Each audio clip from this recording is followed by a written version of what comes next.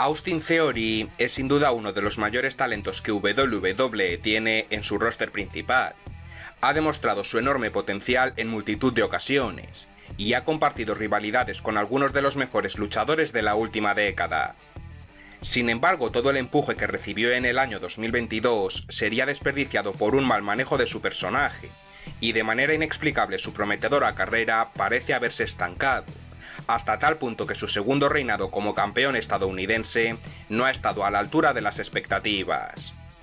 En el décimo capítulo de esta serie hablaremos del descenso del campeón de los Estados Unidos más joven de la historia,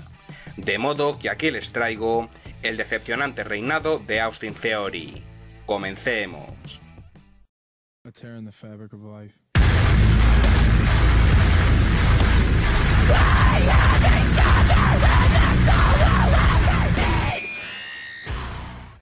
Poco después de llegar al roster principal como parte del draft del año 2021, Austin Theory estaría involucrado en una storyline con Vince McMahon,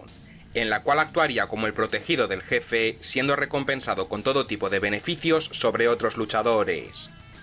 La joven promesa fue impulsada casi de manera instantánea, teniendo una buena participación en la batalla real y clasificándose para la cámara de eliminación por el campeonato de la WWE, llegando a ser uno de los finalistas junto a Brock Lesnar, quien finalmente saldría victorioso tras un impresionante y devastador F5 desde lo más alto de la estructura. En el episodio de Raw posterior a WrestleMania, se uniría a los usos para luchar ante R. Cabro y Finn Balor, logrando la cuenta de 3 sobre el príncipe, obteniendo así una oportunidad por el campeonato de los Estados Unidos que poseía el irlandés. El 18 de abril derrotaría a Finn Balor para capturar el título de la media cartelera, convirtiéndose en el campeón más joven en la historia de la WWE, demostrando que estaba destinado a triunfar en la industria. Sin embargo, tras algunas defensas titulares ante Cody Rhodes y Mustafa Ali, su reinado llegó a su fin tras tan solo 75 días como campeón, cuando se enfrentó ante Bobby Lashley en Money in the Bank, y el Todopoderoso le forzó a rendirse. El pague por ver terminaría de la mejor manera posible para Theory, ya que sería agregado por sorpresa a la lucha masculina por el maletín de dinero en el banco y lograría imponerse a Seth Rollins, Sheamus, Sami Zayn, Omas, Drew McIntyre, Matt Riddle y Matt Moss, convirtiéndose también en el luchador más joven en conseguir el maletín. Theory tendría su combate de revancha por el campeonato estadounidense en SummerSlam, pero una vez más sería derrotado por Bobby Lashley y nuevamente por sumisión, por lo que se alejó de la escena del título de la media cartelera. Más tarde esa misma noche intervino en el combate de último hombre en pie que enfrentó a Roman Reigns y Brock Lesnar por el campeonato universal indiscutible de la WWE, para tratar de canjear el maletín de dinero en el banco. Sin embargo, sería atacado por la bestia encarnada y no fue capaz de llevar a cabo el canjeo. En Clash of the Castle compitió en un combate 3 contra 3 junto a Alpha Academy, enfrentándose a Street Profits y Madcap Moss, siendo los Hills derrotados, y nuevamente trataría de canjear su maletín en el evento principal de la noche, que enfrentó a Roman Reigns y Drew McIntyre, pero una vez más fue atacado antes de hacer el canjeo oficial, esta vez por Tyson Fury. En el episodio del 7 de noviembre de la marca roja, Theory canjearía finalmente el maletín de dinero en el banco, pero lo haría ante Seth Rollins por el campeonato estadounidense, después de que el arquitecto fuera atacado por Bobby Lashley. Durante el choque, el Todopoderoso atacaría también a Theory, provocando que el visionario fuera el vencedor de la lucha, y convirtiendo al aspirante en uno de los pocos luchadores que falló su canjeo del maletín, provocando un cambio de actitud en Theory que se transformó en un luchador más agresivo. En Survivor Series War Games, Austin Theory participó en una triple amenaza por el título de los Estados Unidos, en la que también estarían involucrados Seth Rollins y Bobby Lashley, capturando su segundo campeonato estadounidense tras conseguir la cuenta de tres sobre el visionario. En el episodio del 5 de diciembre de Monday Night Raw, Austin Theory derrotaría a Mustafa Ali por descalificación tras ser atacado por Dolph Ziggler al igual que haría el 2 de enero frente a Seth Rollins y por último ante Bobby Lashley en el especial de 30 años de la marca roja, en una lucha sin descalificación tras una interferencia de Brock Lesnar que atacó al Todopoderoso. En Royal Rumble 2023 participaría de nuevo en la batalla real, esta vez teniendo una actuación más discreta que el año anterior, ya que ingresó en la posición número 25 y solo estuvo 15 minutos en el cuadrilátero, consiguiendo eliminar únicamente a Ricochet para finalmente ser expulsado del choque por el eventual ganador del encuentro, Cody Rhodes.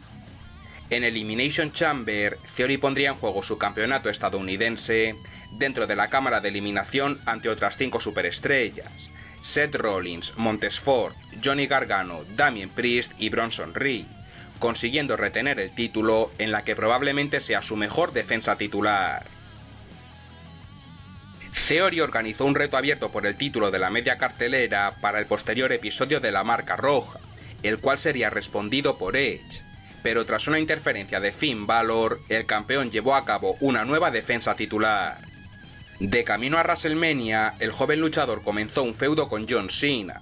una rivalidad de ensueño ya que durante meses se había estado rumoreando, y ambos eran comparados por una gran cantidad de fanáticos, por lo que el encuentro se hizo oficial para la edición número 39 del magno evento. En el opener de la noche 1 de la vitrina de los inmortales, Austin Theory se enfrentaría ante el Marine por el campeonato de los Estados Unidos, ofreciendo un choque sólido pero que no estuvo a la altura de lo que se esperaba de un Dream Match como este, por lo que su reinado poco a poco fue perdiendo relevancia. Para Backlash, Theory formaría parte de otra triple amenaza por el título de la media cartelera, enfrentándose en esta ocasión a Bobby Lashley y Bronson Reed, reteniendo el oro tras lograr la cuenta de tres sobre el australiano. Como parte del draft de 2023, Theory sería enviado a SmackDown, donde tendría su primer encuentro el 12 de mayo, siendo una lucha clasificatoria del torneo para coronar a un nuevo campeón mundial de los pesos pesados, en la que también participaron Sheamus y Bobby Lashley, siendo este último el vencedor de la triple amenaza. Dos semanas después, el 26 de mayo durante un episodio de la marca azul, Theory defendería una vez más el campeonato ante Sheamus, gracias a una interferencia de Pretty Deadly, el equipo formado por Kit Wilson y Elton Prince. El 9 de junio llevaría a cabo una nueva defensa titular, esta vez ante Jay Uso, y un mes después se enfrentaría otra vez al guerrero celta, consiguiendo de nuevo la victoria y la que sería su última defensa como campeón estadounidense. Por otro lado se disputaron dos batallas fatales de cuatro, de las cuales saldrían los dos posibles aspirantes al título de la media cartelera, la primera siendo celebrada en el episodio de SmackDown del 14 de julio y enfrentando a AJ Styles, Butch, Grayson Waller y Santos Escobar, siendo este último el ganador. En la otra semifinal, los participantes serían Cameron Grimes, Sheamus, LA Knight y Rey Mysterio, consiguiendo el enmascarado la victoria y pasando a formar parte de la final que se disputaría unas semanas después. Santos derrotó al de San Diego, y el 11 de agosto se debería haber llevado a cabo el encuentro por el Campeonato de los Estados Unidos, pero debido a que Theory atacó a Escobar en los vestuarios, Rey Mysterio le sustituiría como rival del campeón, consiguiendo el miembro de la LWO la victoria, terminando con el decepcionante reinado de Theory tras 258 días.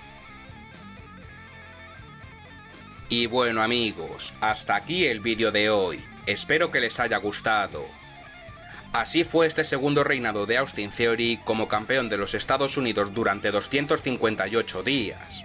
Un reinado que convirtió al joven luchador en el campeón estadounidense más longevo de la última década, pero que pese a haberse enfrentado a nombres como John Cena, Edge o Sheamus, no alcanzó las expectativas que se esperaban de él tras WrestleMania 39. Dejen su like si les gustó, en comentarios cualquier opinión que quieran dar o pregunta que quieran que responda en próximos vídeos, suscríbanse para más contenido y activen las notificaciones para no perderse ninguno de mis siguientes vídeos. Un saludo y hasta la próxima.